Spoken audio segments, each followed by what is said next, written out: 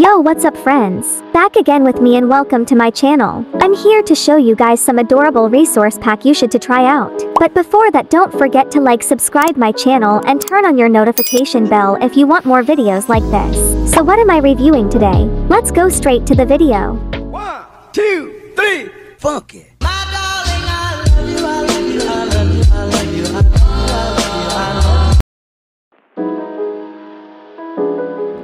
First resource pack I review is Rosebud GUI and Hotbar. This resource pack changes the appearance of your Minecraft background to look like a field of roses. And also they changed your button, Hotbar and GUI to be like this. It was so pretty pack that I found yesterday and it make my Minecraft GUI looks beautiful with the flowers in the hotbar and pink GUI.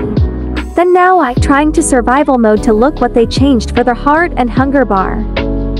They turned the heart and hunger bar into like this. This is the GUI when you open the anvil, chest and crafting table. I love this pack to be honest.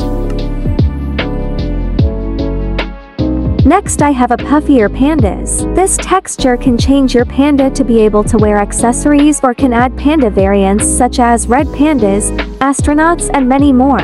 They can also wear a hat or a cake behind their backs is very cute isn't it? Wow!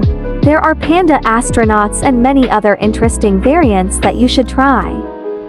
And now I will show you how to making your pandas looking like these. You just need a anvil, name tag and also pandas egg for spawn them. Then type in anvil a variant of panda you want to change and for example I want to change the panda into chef. Then spawn your panda and rename them, they will be like this.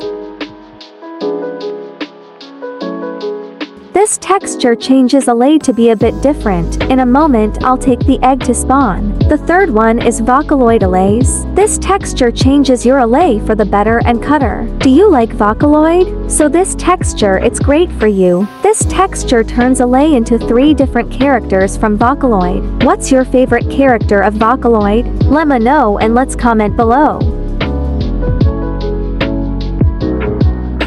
Okay next we have Bani's Pigeon. This texture it's changed your parrots into a pigeon. That was so cute. Oh and don't forget to tame them using any seeds. This texture adds 5 pigeons with different colors such as dark gray, brown, purple, green and white. I think the purple ones are a bit difficult to spawn, maybe they are rare pigeons. But the white one it's so adorable I love it this resource pack. How about you guys? Next moving on to Kirby Kitty. Yeah, I think you guys will like this resource pack guys they really cute. This texture changed your cat after tamed into Kirby. Oh my god have you ever thought about owning a pet a Kirby? You just need to type your name tag to Anvil and rename it into Kirby. And after you rename it you can tame your cat and give your cat name using Kirby name tag. Taming a cat using salmon fish. You know, then if your Kirby is red like this just use white dye and color them in, their color will turn out like normal. Uh, the little baby it's super duper adorable. Next we have the Minimitos axolotl. This texture changes your Minecraft axolotl to a cat pattern. This is very unique. Do you like cats? Or even you are a cat lover? Then this texture pack is perfect for you to use. Which axolotl cat pattern do you like the most among all of these? Never mind, they're all very cute, there's no favorite because all of them I love it.